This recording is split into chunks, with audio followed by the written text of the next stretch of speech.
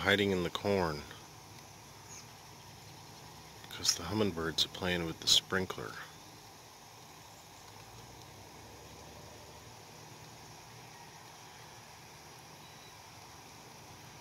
I'll come back when they come back out.